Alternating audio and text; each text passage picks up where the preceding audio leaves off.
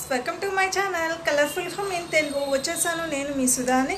ఈరోజు వచ్చి ఈరోజు మన రెసిపీ వచ్చేసి రాగి సంగటి విత్ కోడి కూర.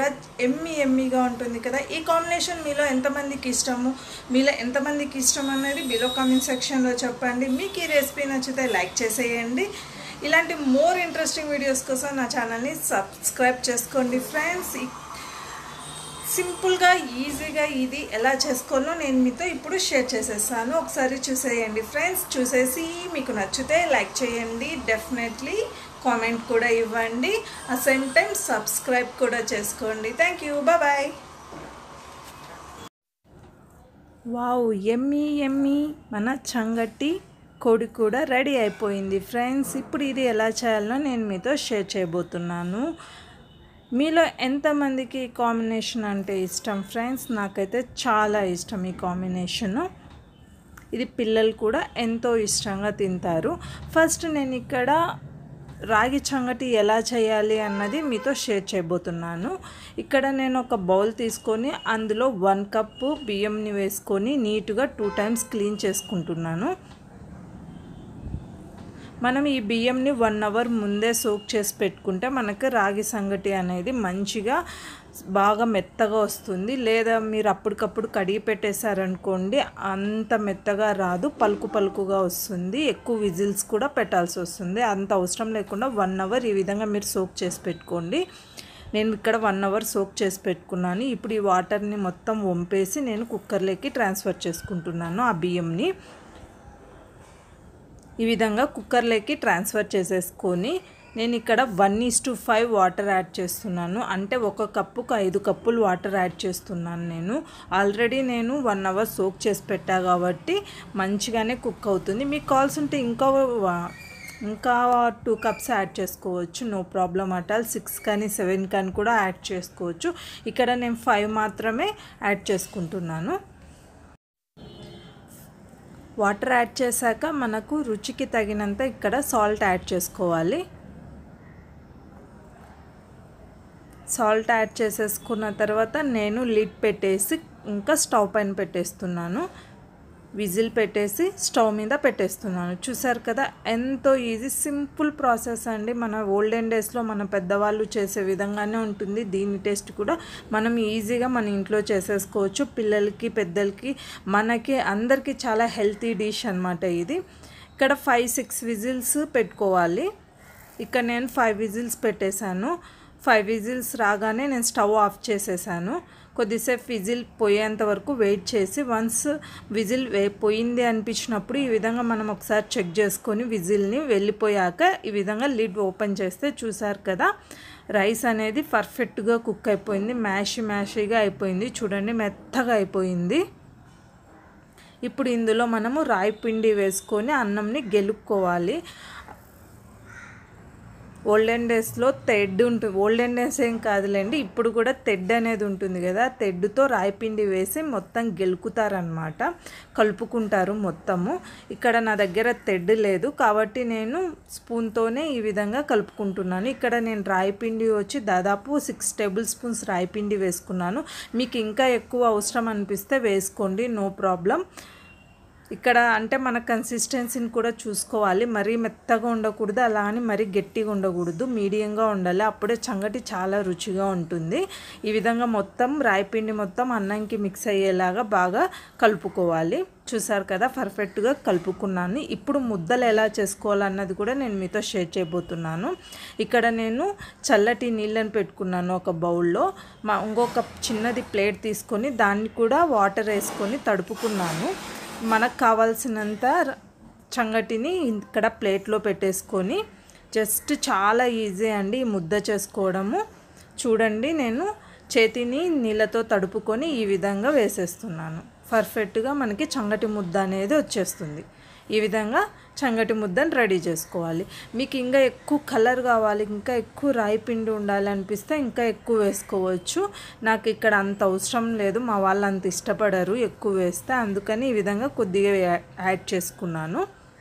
ఇది అండి రాగి చంగటి. నెక్స్ట్ నేను ఇక్కడ కోడి కూరను చూపించబోతున్నాను ఒక ప్యాన్ పెట్టేసుకొని అందులో six tablespoons oil add చేసుకుంటున్నాను. మన కోడి కూరకు కొద్దిగా ఆయిల్ ఎక్కువ ఉంటేనే చాలా బాగుంటుంది.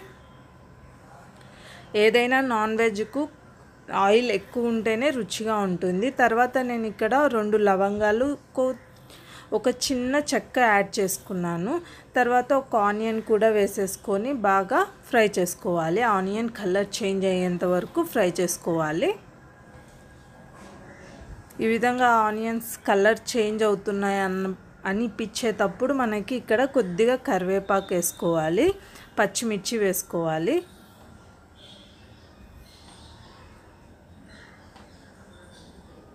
పచ్చిమిర్చిని కూడా వేసుకొని బాగా ఫ్రై చేసుకోవాలి. వన్స్ ఆనియన్ కలర్ చేంజ్ అయిన వెంటనే మనం ఇక్కడ వన్ టేబుల్ స్పూన్ అల్లం వెల్లుల్లి పేస్ట్ వేసుకొని అది కూడా పచ్చి స్మెల్ వెళ్ళేంత వరకు ఫ్రై చేసుకోవాలి.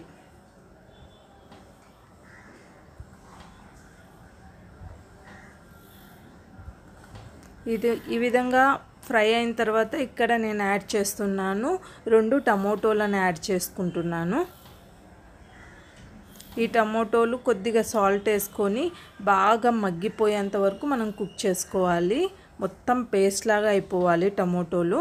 అంతవరకు మనం మంచిగా కుక్ చేసుకోవాలి. ఆయిల్ మొత్తం బయటికి రిలీజ్ అవుతుంది. అంతవరకు కుక్ చేసుకుంటే మనకి ఈ పచ్చి స్మెల్ అనేది లేకుండా గ్రేవీ చాలా బాగా రుచిగా వస్తుంది.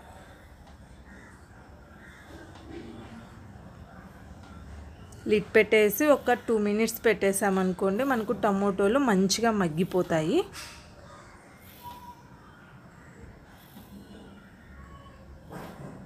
లిడ్ ఓపెన్ చేసి చూస్తే చూసారు కదా టమోటోలు ఆల్మోస్ట్ మగ్గిపోయాయి. ఇంకా మీరు మీ స్పూన్తో ఈ విధంగా అన్నారనుకోండి ఇంకా మిగిలినది కూడా మంచిగా స్మాష్ అయిపోతుంది.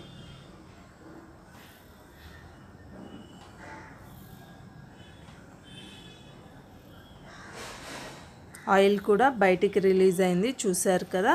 ఇప్పుడు ఇందులో మనం స్పైసెస్ని యాడ్ చేసుకోవాలి. హాఫ్ టేబుల్ స్పూన్ పసుపు వన్ టేబుల్ స్పూన్ కారం పొడి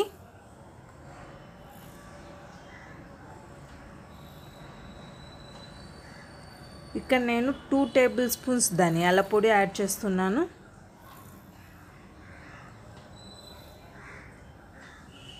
వన్ టేబుల్ స్పూన్ కొబ్బరి పొడి. One tablespoon garam masala add చేసుకొని ఈ మసాలాలు మొత్తం ఒకసారి కలుపుకోవాలి. ఈ విధంగా మొత్తం కలుపుకొని దీన్ని కూడా మనం ఒక వన్ మినిట్ కుక్ చేసుకోవాలి. అప్పుడు మనకి బాగుంటుంది రుచిగా ఉంటుంది. కొద్దిగా వాటర్ యాడ్ చేసుకొని అడుగు అంటకుండా కొద్దిగా వాటర్ యాడ్ చేసుకొని ఒకసారి ఈ విధంగా కలుపుకొని మనం లిడ్ పెట్టేసి ఒక టూ మినిట్స్ కుక్ చేసుకోవాలి. ఆయిల్ మొత్తం పై పైకి వచ్చేలాగా మనం కుక్ చేసుకోవాలి. నేను చికెన్ పీసెస్ని నీట్గా కడుక్కొని ఈ విధంగా ఉప్పు నీటిలో నానపెట్టాను. ఆ విధంగా చేయడం వల్ల మనకు చికెన్ అనేది జ్యూసీగా ఉంటుంది. పీసెస్ కూడా చాలా సాఫ్ట్గా ఉంటాయి. ఇప్పుడు చూసారు కదా ఆయిల్ మొత్తం బయటికి రిలీజ్ అయిపోయింది. ఇప్పుడు ఇందులో మనము మన చికెన్ పీసెస్ని యాడ్ చేసుకోవాలి. ఒకసారి చికెన్ పీసెస్కి మొత్తం ఈ మసాలా పట్టేలాగా ఒకసారి కలుపుకోవాలి ఈ విధంగా. ఈ విధంగా కలుపుకొని ఇక్కడ మీరు మీ రుచికి తగినంత ఉప్పును యాడ్ చేసుకోండి. ఇక్కడ నేను చికెన్ ఉప్పు నీటిలో నానపెట్టా కదండి. ఆ వాటర్ని ఇక్కడ యాడ్ చేస్తాను. అందుకని ఉప్పు కొద్దిగా తక్కువే వేసాను ఆ వాటర్లో ఆల్రెడీ ఉప్పు ఉంటుంది కాబట్టి నేను ఇక్కడ ఉప్పు తక్కువ వేసాను చూసారు కదా ఒక టూ మినిట్స్ లిడ్ పెట్టేసి నేను వాటర్ యాడ్ చేయకుండా కుక్ చేశాను. ఇట్లా వాటర్ చికెన్లోని వాటర్ అంతా బయటకు వచ్చేసింది. ఇప్పుడు మనకి కావాల్సిన గ్రేవీని బట్టి మనం ఇక్కడ వాటర్ యాడ్ చేసుకొని ఒకసారి కలుపుకొని లిట్ పెట్టేసి మంచిగా చికెన్ ఉడికేంత వరకు మనం కుక్ చేసుకోవాలి. అంతే చూసారు కదా చికెన్ బాగా ఉడికిపోతుంది. ఇక్కడ కూడా మీరు గమనించినట్లయితే ఆయిల్ మొత్తం బయటకు వస్తుంది ఫ్రెండ్స్. ప్లస్ మన గ్రేవీ అనేది థిక్ అవుతేనే చాలా బాగుంటుంది. వన్స్ మీకు గ్రేవీ థిక్ అవుతుంది అనిపించినప్పుడు మీరు ఇక్కడ కొత్తిమీరతో గార్నిష్ చేసేసుకోండి. అంతే ఎమ్మి ఎమ్మిగా మన చికెన్ కర్రీ రెడీ అయిపోయింది. ఇది రాగి సంగటికి సూపర్గా ఉంటుంది. రాగి సంగటి ఏ కూరకైనా సూపర్గా ఉంటుంది. పప్పుతో కానీ చికెన్తో కానీ మటన్తో కానీ చేపతో కానీ దేంతో అయినా ఎమ్మి ఎమ్మిగానే ఉంటుంది. ఫ్రెండ్స్ మీకు ఈ రెసిపీ నచ్చిందా? ఇన్ కేస్ నచ్చినట్లయితే లైక్ చేయండి ఫ్రెండ్స్. ఇది Rayalaseema special chicken curry plus ragi sangati. మీరు మీ ఇంట్లో ఒకసారి ఈ రెసిపీని ట్రై చేయండి. ఎలా వచ్చిందో బిలో కామెంట్ సెక్షన్లో చెప్పండి. Thank you for watching my video friends